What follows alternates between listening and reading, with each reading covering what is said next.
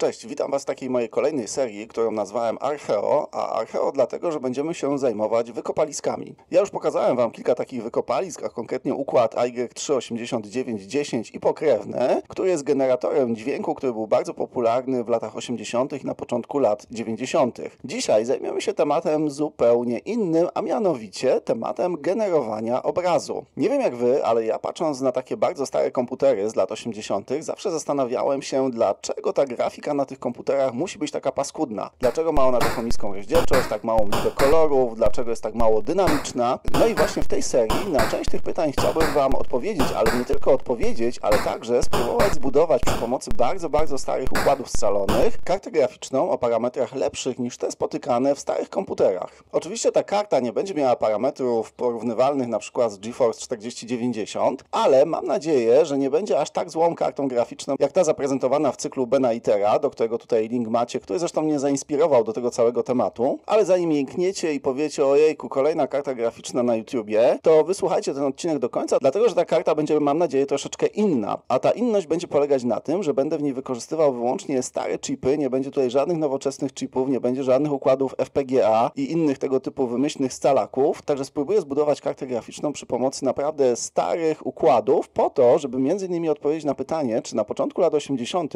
grafika komputerowa komputerowa musiała być rzeczywiście tak paskudna, jak ją pamiętamy. No oczywiście, żeby odpowiedzieć na to pytanie, musimy się zastanowić, jak wyglądała technologia na początku lat 80. i jakie nakładała ona ograniczenia i być może z tych ograniczeń właśnie wynika ta paskudność grafiki komputerowej, którą spotykamy w takich starych komputerach. No ale przy okazji mam nadzieję, że nauczymy się dużo nowych rzeczy na temat techniki cyfrowej, w związku z tym gorąco zachęcam Was do zobaczenia tego i kolejnych odcinków. Oczywiście zbudowanie karty graficznej przy pomocy technologii oraz układów scalonych, które są dostępne na przykład w 2023 2023 roku nie przedstawia żadnych problemów. Zresztą w jednej z moich książek, tutaj macie do niej link, pokazałem Wam, jak zbudować w oparciu o prosty mikrokontroler Xmega kartę graficzną, która jest kompatybilna ze standardem VGA. I zbudowanie takiej karty to było zaledwie kilka linii kodu. No wobec tego, gdybyśmy poszli w tym kierunku, no to oczywiście zbudowanie takiej karty nie byłoby najmniejszym kłopotem. No ale w latach 80. tego typu w miarę szybkich układów scalonych nie było. Stąd też, ażeby ten mój projekt był takim prawdziwym projektem retro, poczyniłem sobie kilka założeń które widzicie na tym slajdzie. Przede wszystkim będę używał wyłącznie układów scalonych, które były dostępne na początku lat 80., no tak powiedzmy do roku 85. Oczywiście zbudowanie tej karty przy pomocy współczesnych na przykład układów FPGA nie stanowi najmniejszego problemu. Mało tego, przy pomocy nowoczesnych układów FPGA mógłbym na przykład zrealizować nie tylko dowolne rozdzielczości, głębie kolorów, ale także dodać mnóstwo akceleracji sprzętowej, ale tego typu elementy oczywiście były niedostępne w latach 80. Dlatego będę tutaj wykorzystywał takie dyskretne układy TTL, TTL serii S, LS oraz F. One na dzień dzisiejszy są już mocno przestarzałe, dlatego że technologia poszła w zupełnie innym kierunku. Niemniej jednak te układy TTL mają pewne swoje ograniczenia, związane na przykład z dużym poborem prądu, ale także z ograniczoną szybkością działania, więc stanowi to pewne dodatkowe wyzwanie. Chciałbym w końcu odpowiedzieć na pytanie, czy przy pomocy układów scalonych, które były dostępne do tego 85 roku, rzeczywiście uda nam się zbudować porządną kartę graficzną, która swoimi parametrami będzie przekraczać parametry ówcześnie dostępnych rozwiązań rozwiązań. Oczywiście fajnie by było, gdyby ten budowany projekt był w miarę tani, oczywiście w miarę tani w przeliczeniu na pieniądze z lat 80., co samo w sobie nie będzie łatwe, żeby miał pewne walory edukacyjne, czyli żebyście słuchając tych moich odcinków byli w stanie się czegoś nauczyć i wyciągnąć jakieś wnioski, które mają praktyczne zastosowanie także dzisiaj. No i oczywiście chciałbym, żeby to moje rozwiązanie było lepsze niż te rozwiązania dostępne w latach 80.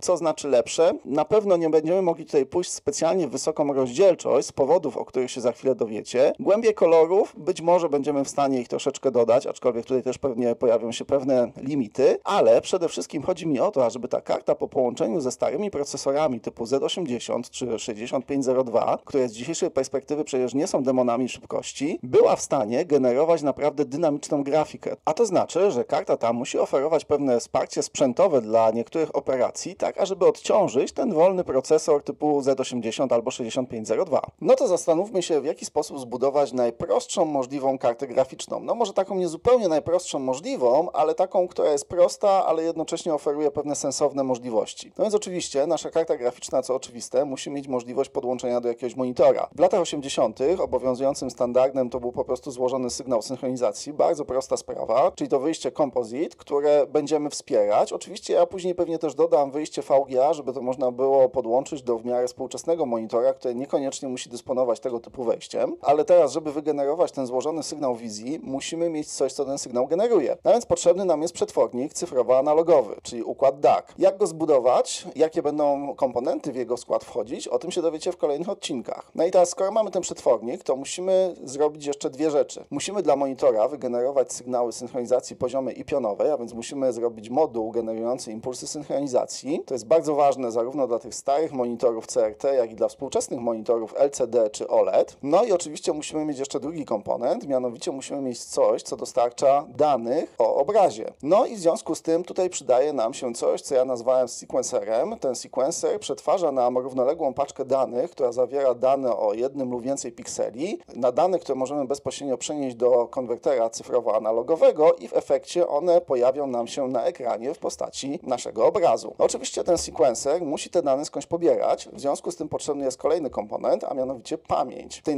najprostszej karcie graficznej i zresztą z taką sytuacją spotkacie się praktycznie w 99% tego typu projektów znalezionych w internecie, wykorzystam na początek pamięć statyczną RAM. Oczywiście w latach 80. było bardzo mało prawdopodobne, żeby ktoś się na takie rozwiązanie zdecydował, dlatego że pamięci statyczne mają mnóstwo zalet, ale mają jedną bardzo istotną wadę, a mianowicie cenę. Nawet dzisiaj są one zdecydowanie droższe niż pamięci dynamiczne. Natomiast do ich zalet należy po prostu prostota. One nie wymagają odświeżania, w związku z tym ten układ elektroniczny nam się bardzo, bardzo mocno upraszcza. Dlatego ja w tej najprostszej wersji karty wykorzystam pamięć statyczną, ale potem przejdziemy do pamięci dynamicznych. No i teraz tak, pamięć RAM oczywiście zawiera dane o obrazie, które będziemy przesyłać do sequencera, który następnie będzie je przetwarzał i przesyłał do układu konwertera cyfrowo-analogowego. No ale, żeby teraz te dane w sposób zorganizowany trafiały do sequencera, to potrzebujemy jeszcze jedną rzecz, a mianowicie generator adresów. Czyli w najprostszym przypadku jest to licznik, który jest inkrementowany co piksel, no i w efekcie wysyła nam kolejne dane z pamięci RAM do sequencera. Ale nie wystarczy, żeby ten nasz generator adresów był po prostu inkrementowany, dlatego że ta inkrementacja musi być także synchronizowana między innymi z impulsami odchylania poziomego i pionowego. W związku z tym potrzebujemy właśnie połączenie z tym układem do generowania impulsów synchronizacji poziomej i pionowej. W szczególności te impulsy synchronizacji pionowej będą dla nas tutaj bardzo, bardzo istotne, dlatego że one określają nam moment zerowania licznika adresów, czyli generowania nowej ramki obrazu. No i oczywiście kolejny bardzo ważny komponent to jest interfejs z mikrokontrolerem albo z mikroprocesorem. Ten interfejs może być zbudowany bardzo różnie, o czym się zresztą przekonacie w kolejnych odcinkach. I to jest zasadniczo taki schemat blokowy najprostszej możliwej karty graficznej. Z jednej strony nie wydaje się on być specjalnie skomplikowany, ale z drugiej strony zobaczycie, że na każdym z tych etapów no, czai się kilka poważnych problemów, które będziemy musieli w jakiś sposób rozwiązać. Oczywiście da się ten schemat jeszcze troszeczkę bardziej uprościć, ale to już by było możliwe tylko i wyłącznie kosztem znacznego upośledzenia funkcjonalności karty graficznej albo wprowadzenia pewnych trików, których wprowadzać nie chcę, ale o których też Wam powiem w kolejnych odcinkach. No więc tak wygląda najprostsza karta graficzna. A jak będzie wyglądać karta graficzna, którą ja chcę Wam pokazać, jak zbudować? Będzie ona troszeczkę bardziej skomplikowana. Zacznijmy od tego, że postaram się dodać także wyjście VGA. Dlaczego? Dlatego, że w tych nowoczesnych monitorach już nie ma zazwyczaj tego wejścia złożonego sygnału wizji, natomiast dosyć często jeszcze spotykamy wejście VGA. W związku z tym spróbujemy dodać wsparcie dla tego standardu, co wbrew pozorom wcale nie będzie aż takie łatwe. Rozbuduję troszeczkę ten układ przetwornika analogowo-cyfrowego, dodając do niego tak zwany lookup table, czyli taką tablicę, która umożliwia wprowadzenie palety kolorów, czy też tak zwanych kolorów indeksowanych, czyli w pamięci znajduje się indeks do tego lookup table, natomiast odpowiednia pozycja wyznaczona przez ten indeks koloru dopiero tak naprawdę opisuje nam właściwy kolor, który uzyskamy na ekranie. Tego typu element daje nam bardzo duże możliwości, jeśli chodzi o tworzenie bardzo dobrze wyglądającej grafiki, ale przede wszystkim umożliwia to ominięcie pewnej bariery, którą spotykaliśmy we wczesnych komputerach z lat 80.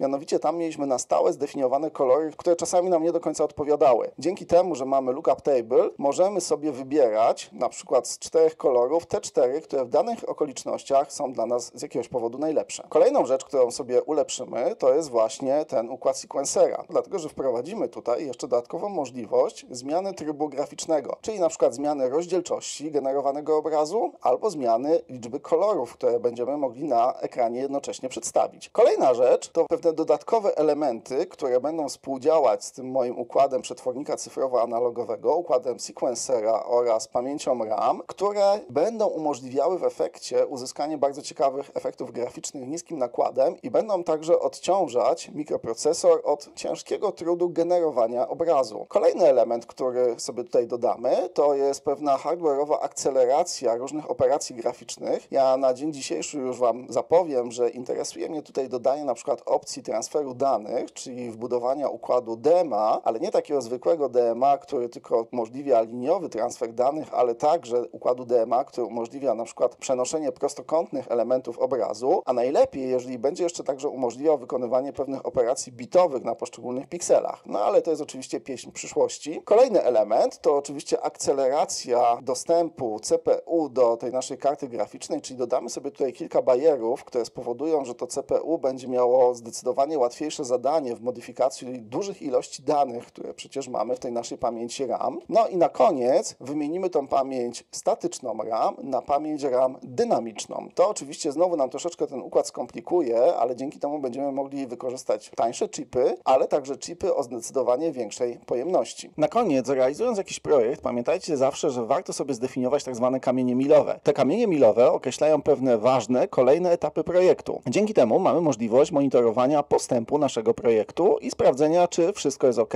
czy może gdzieś napotkaliśmy jakiś problem. Ja tutaj sobie zdefiniowałem takie kamienie milowe związane z tymi podstawowymi funkcjami graficznymi, które w efekcie po zrealizowaniu dadzą mi kartę graficzną o możliwościach bardzo przeciętnych, ale jednak umożliwiającą wyświetlanie obrazu. Tutaj jak widzicie przede wszystkim będę musiał sobie zbudować układ generowania impulsów synchronizacji pionowej i poziomej. Bez tego żaden pozostały podsystem nie może działać. Układ przetwornika cyfrowo-analogowego, który będzie odpowiedzialny za generowanie tej części analogowej o obrazie. Następnie potrzebuję interfejs do pamięci RAM i połączyć ją w jakiś sposób z układem przetwornika analogowo-cyfrowego. Dzięki temu powinien pojawić się już jakiś obraz na tym ekranie. Muszę oczywiście zbudować interfejs łączący moją kartę graficzną z mikroprocesorem. Oprócz tego zdefiniowałem sobie także kilka innych kamieni milowych, które będą dodawały mi kolejne bariery, które nie są niezbędne do działania tej karty graficznej, ale zdecydowanie wzbogacą jej funkcjonalność. Niemniej jednak te ulepszenia zostawię sobie dopiero do realizacji w drugiej części projektu, kiedy już ta podstawowa funkcjonalność zapewniająca mi wyświetlanie obrazu na ekranie będzie zrealizowana. No dobrze, to tyle o moich założeniach. Koniecznie napiszcie mi w komentarzach, co myślicie o tym projekcie, czy Wam się podoba, czy uważacie, że jest kompletnie bez sensu.